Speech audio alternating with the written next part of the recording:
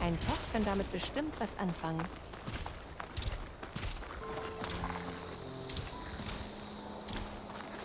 Thank